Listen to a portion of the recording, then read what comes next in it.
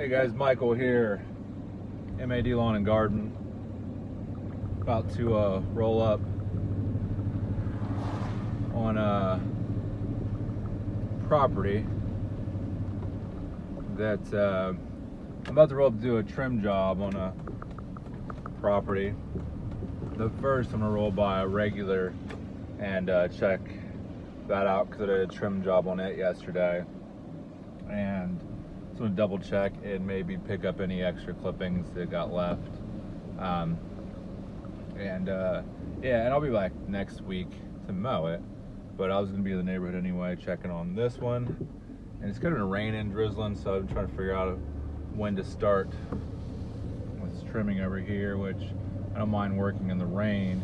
Um, I just really not preferable to like I trim in a drizzle, a little bit of rain, but I don't want to be um, full blown trimming uh, bushes, hedges when the rain's just like coming down. So I'm gonna try to mitigate that and hope watch the weather and just check for that and make sure that it doesn't it doesn't uh, I don't think it's gonna do that while I'm in the middle of the job but like I said I'm gonna check on this one real quick. And then um, see how everything see how the weather's holding up. Right now it's calmed down which would be perfect. But uh, anyway I don't know what the rest of the day is gonna look like. I didn't check the forecast as much as I should considering what I do for a living I don't generally check the weather because most of the time, well, I mean, all the time, there's nothing I can do about it. I can try to schedule around and whatnot, but for the most part, um,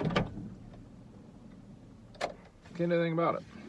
Anyway, I'll walk you around, and show you what I've done. I'm just gonna pick up a few extra, extra items. I'll walk up around here.